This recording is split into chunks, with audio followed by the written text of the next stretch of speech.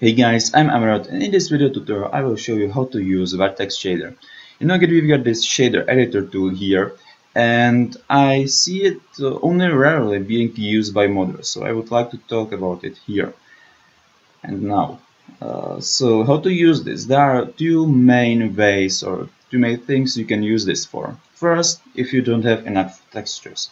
Here, or in general on this island, I have used four textures like everywhere. I don't have place for more textures.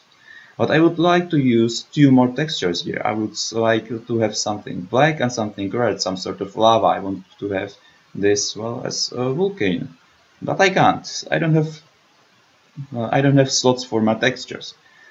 Uh, there is a way around this. I can use shader editor.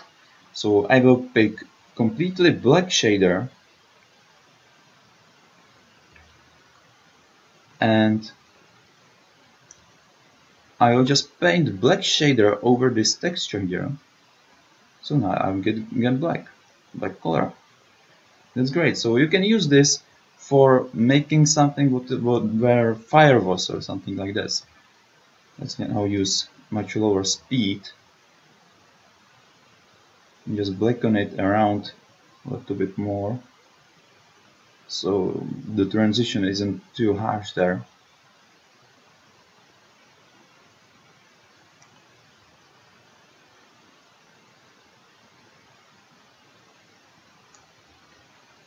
And that's it. We've got now black. It looks like there was a fire or something of sort. And but we we didn't have to use more textures. We, we are still on four textures only and let's move even further. Let's use some sort of red shader. For example bright red just and with very low speed just gently touch parts here down here. And now it starts looking a little bit like lava. Because that stone here is very cracked so these cracks now might look a little bit like lava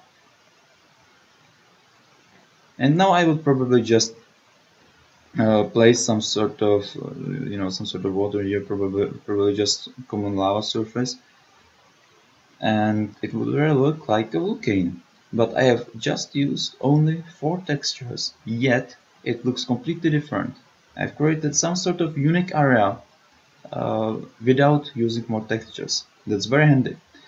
Another thing uh, or another way of using shader is by making your objects stand out a little bit more.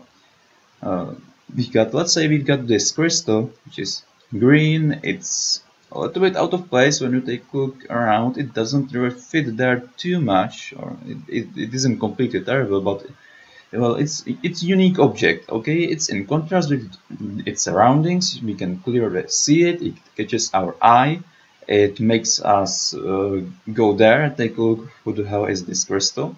But when we are close to this crystal it's a little bit weird because it's just a crystal hovering here and it isn't doing anything. It, uh, it, it literally it isn't doing anything. It is just here.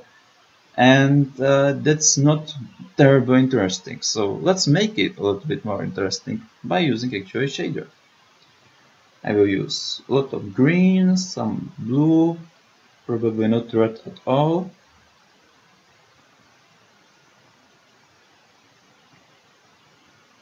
I think this is okay. Let's start with slower speed.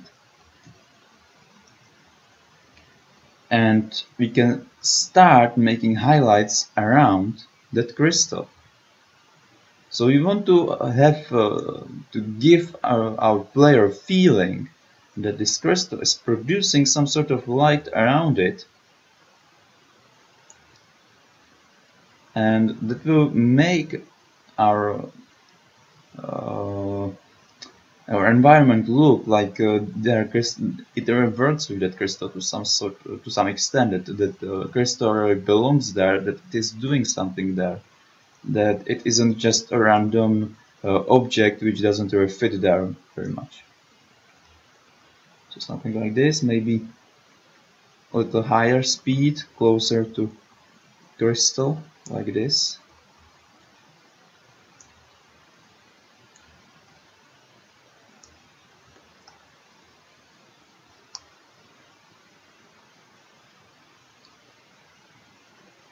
look at this, this now starts looking much more like that crystal already belongs there and it looks more interesting, it's uh, highlighted to some degree.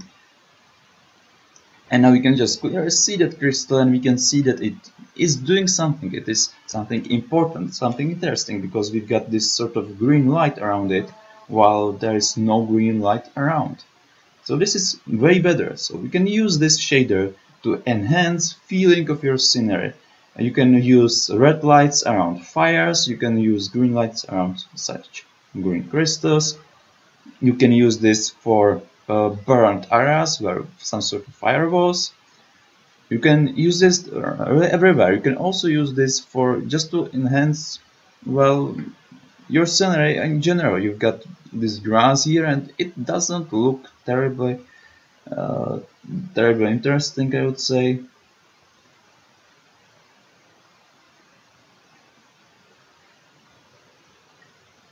So let's try to use some sort of shader here. Something like this, maybe. And it already is a little bit different. It's getting a little bit different feeling when you light on it like this. So you use shader. And we are already getting completely different feeling from uh, this island when it's lighting up a little bit. So we can use this uh, lighting on both rocks or on grass. You can use it everywhere. You can use it around objects which produce light, but you can also use it just on generic environment to make some spots there a little bit more interesting and uh, to make your island a little bit more colorful that there are more colors that it's in general something what uh, has more things in it. And it uh, doesn't look that flat anymore. So now it's it isn't lo looking very flat now. It, it is a little bit more you know 3d a little bit more interesting. So those are ways of using shaders. That are basically free I would say you can use it to enhance your general environment you can use it to mark spots where some objects which are producing lights are and you can use it when you don't have enough of textures but you need something with different color to apply to your scene. So those are three ways of using vertex shader actually. I hope this was useful for you guys. Think about this, try using vertex shader on your maps. It's, it is very fun, it looks great sometimes, sometimes not. Uh, try it and I hope this was useful for you and as always Happy modding.